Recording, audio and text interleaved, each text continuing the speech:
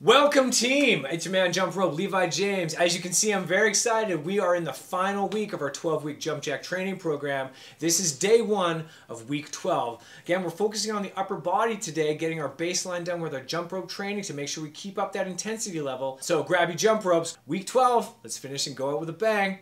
Let's get busy.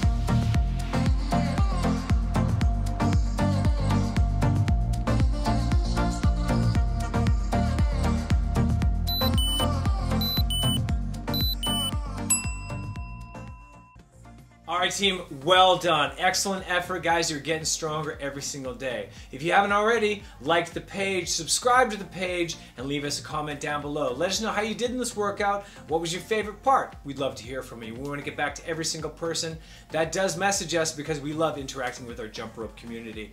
Guys, keep following along with the workouts. You're on your way. Let's keep up this momentum. Until the next one, I'm your man, Jump Rope Levi James, and we'll see you in the next workout.